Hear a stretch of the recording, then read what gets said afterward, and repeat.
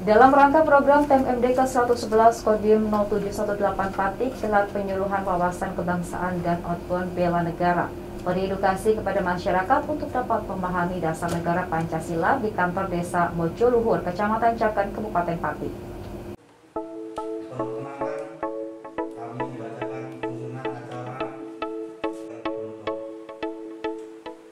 Salah satu sasaran fisik program TMMD ke-111 Kodim 0718 Pati adalah penyuluhan wawasan kebangsaan dan outbound bela negara yang diselenggarakan oleh Kodim 0718 Pati di kantor desa Mojoluhur, Kecamatan Jaken, Kabupaten Pati.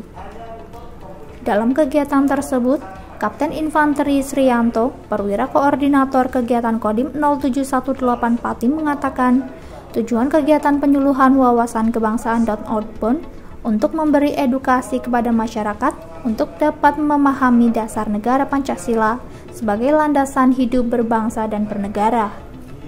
Peserta yang hadir dalam kegiatan tersebut dibatasi hanya sejumlah 25 orang untuk meminimalisir kerumunan mengingat pelaksanaan kegiatan masih dalam masa pandemi.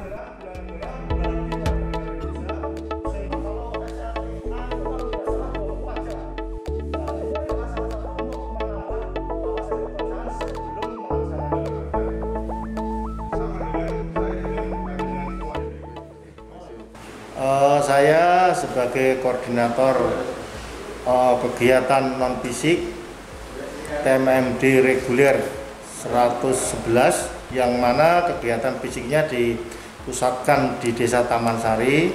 Namun dalam kegiatan non fisiknya dilaksanakan di desa-desa sekitar tersebut dengan tujuan bahwa uh, dari instansi terkait memberikan pencerahan atau edukasi kepada masyarakat sesuai dengan bidangnya masing-masing. Seperti saya tadi memberikan materi yaitu wawasan kebangsaan dengan harapan bahwa warga negara Indonesia khususnya di Desa Mojoluhur agar memahami dasar negara kita yaitu Pancasila serta dasar Undang-Undang 1945 sebagai landasan hidup dan berbangsa dan bernegara. Oh, untuk peserta kurang lebih ada 25 karena ini adalah musim pandemi. Jadi kami uh, koordinasi dengan pemerintah desa hanya menyiapkan 5 oh, 25 dari peserta.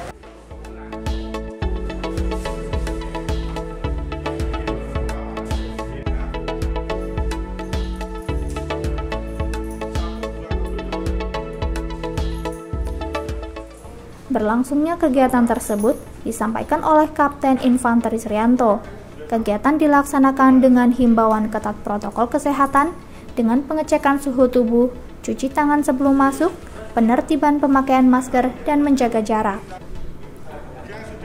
Dari Taman Sari Jaken, Tim Liputan Banyumas TV melaporkan.